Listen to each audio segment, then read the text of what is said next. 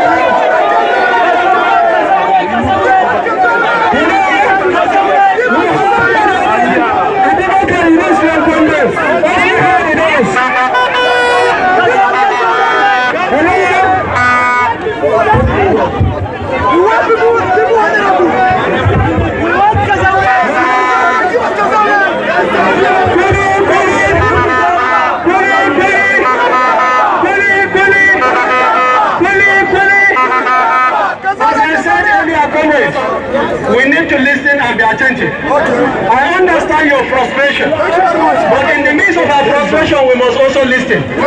In the both chambers, we have people that are full workers, and they are here with us. And we must give them the mandate. Hello? the full mandate to continue to represent us. They have the mandate of the two principal officers to receive our message undiluted and take it to the principal officers. And I'm sure the entire House and the entire Senate will discuss this issue that we have petitioned them. It is a petition by entire Nigerian workers. It's a petition by entire Nigerian workers. Am voice? listen. Let us listen attentively. Thank you very much. Yes, yes. Hello. We have a written document signed by the President of NLC and signed by the President of TUC atomizing our protest and complaint that will be submitted both to the leader of the House and the representative of the Senate President, the Deputy Chief Whip, who is here with us. Hello? Hello? Hello? Image, can we listen, please? Can we listen? Thank you. But the should bring the letter immediately. Why house, please? Why house? Hello? No, no, Hello? Image, are you listening? Distinguished leaders of our National Assembly. my colleague, the President of the Trade Union Congress, members of the National Administrative Council of the Nigerian Labour Congress and Trade Union Congress, our colleagues on this side of the coin who are also protecting our interests. Comrades, we're here today on behalf of Nigerian workers, on behalf of Nigerian pensioners, on behalf of the downtrodden, to make it clear and unambiguous that the bill that seek to remove the minimum wage from the exclusive list to the concurrent list I'm robust. is not accepted. Bravo. Let me say that the issue of national minimum wage is a standard set by the International Labour Organization. And the International Labour Organization is the first agency of the United Nations, formed in 1919 after the First World War. They don't know, they don't know. Tell them, tell them, tell them. What I'm also reiterating, listen, listen. What I'm reiterating is to say that one, the national minimum wage is not a Nigerian standard. It's an international standard. The argument is that because they want federalism. They want the issue of national minimum wage to be removed to the concurrent list. That is false. In the countries of the world, in the countries of the world today, we have 26 federal nations that have minimum wage in their exclusive list, including United States of America. As I speak to you, currently, the minimum wage of the United States of America, approved by President Obama, is $10 per hour. President Biden, hello? President Biden came in. The first statement he made is that he's going to review the national minimum wage to $15 per hour. That is progressive. Let me also say, let me say, so the argument that is about federalism is false. Also, the argument about ability to pay from the time Shagari signed the first minimum wage, in 1981, 125 naira, which was equivalent to 125 dollar, and put it in our constitution and insulate it so that it would not be abused. It was negotiated.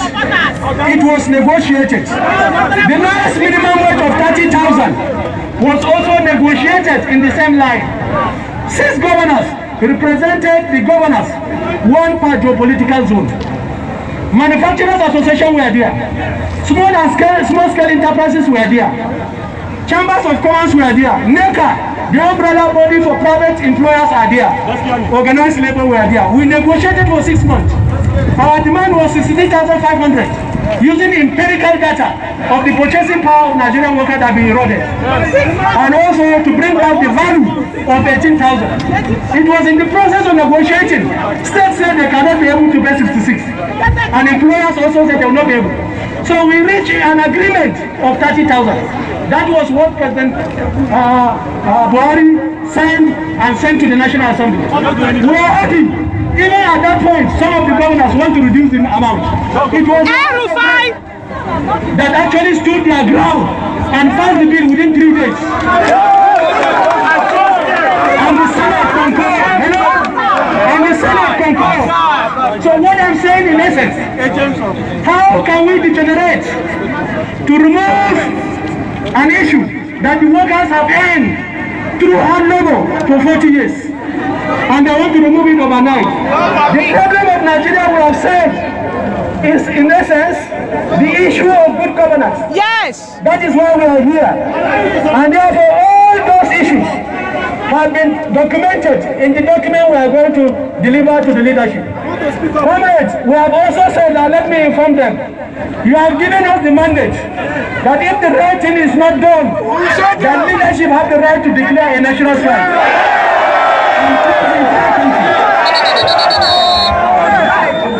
Okay, I know your passion. Comrade, I know your passion. I know that this is very critical to you. Among other issues, part of why we are not making progress is because local government system has been killed. The resources of local government have become pocket money.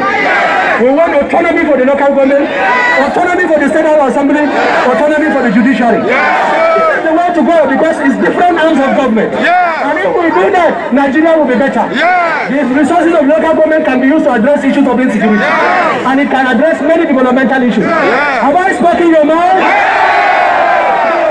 yeah. Therefore, let me salute your tenacity. Thank you, sir. Let me salute your courage. Thank you. That despite COVID-19, yes. COVID-19 cannot take away the fundamental yeah. rights is the right to protest. Yeah. It's a right enshrined in the UN Charter for human and trade rights, and therefore it cannot be taken away. I also know governors collect the same salary across the country. Yes. Councillors collect the same salary. Yes. Members of state and national assembly collect the same salary. Not on ability to pay. So why is the case of workers different? If it is ability to pay,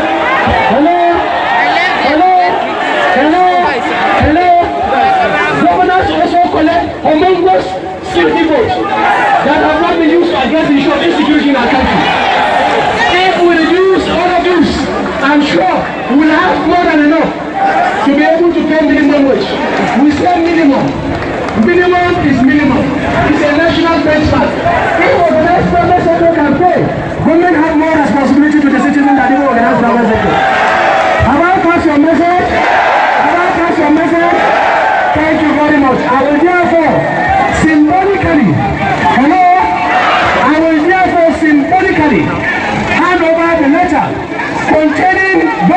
have highlighted to our leadership, to our leadership at the National Assembly, because they represent our interests.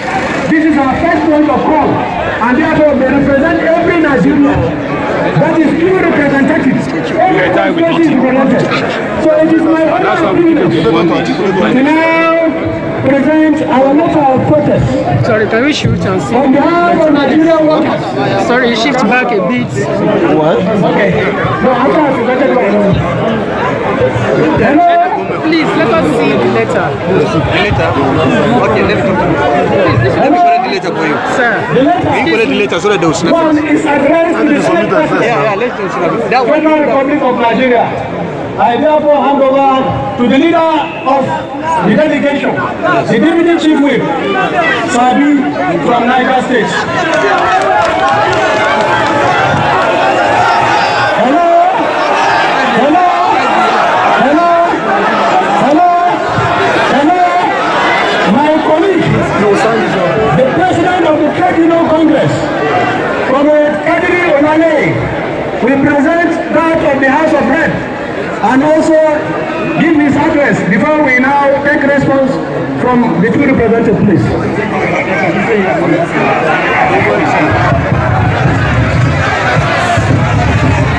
Solidarity! Solidarity! We cannot be repeating ourselves. All has been said. But in Fusion because you wanted to capture. The leadership I'm by the best. Am I correct? I will serve that if the the National Assembly must take that decision, all our representatives should go back to their local government to collect their salary according to the local government generation. Yeah. Solidarity. Yeah. I want to present our protest letter. In the House of Reps. In the House of Reps, on behalf of Labour Movement of Nigeria, through the leadership, representatives, it's the camera, it's doing okay. Okay. That's my I So now I saw this camera. Whatever. pushing Solidarity! Solidarity! Solidarity! I will therefore hand over the microphone. the leader of the house, Comrade Ado Dogwa from Kano. We know that even in the last assembly, when this attempt was made, they were progressive to make sure that we don't have such a situation. And therefore, we don't recognize that we have members that are also from our constituency. Comrades, Alasan Adodoga, please. تناول أعوذ بالله من الشيطان الرجيم بسم الله الرحمن الرحيم وصلى الله على النبي الكريم My brother My brother My brother President of the organized level of the Federal Republic of Nigeria, our own president, President Wabba. May I also recognize the respective members of the organized labor leadership that are here with you on your entourage.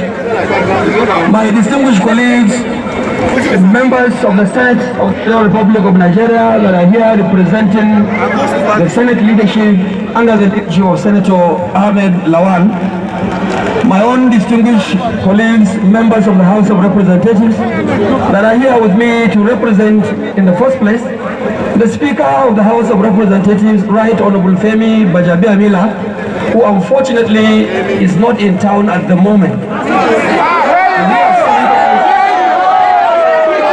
you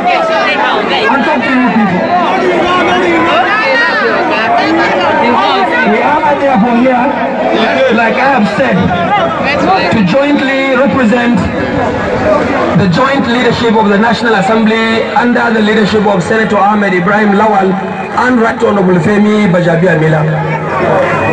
May I therefore, on that note, say a big thank you, President Wabba, a very big thank you to the organized labor. To a very good thank you to the general membership of this organized labor in the Federal Republic of Nigeria for in the first place deciding to make use of the constitutional window to come and air your grievances to the right quarter. You are in the right hands, you are in the right space, you are at the right institution which by extension is a representation of the general membership of the organized labor in Nigeria. Mr. President, Mr. President, may I say on behalf of my speaker and the entire members of the House of Representatives that we are also by extension members of the organized labor of the federal Republic.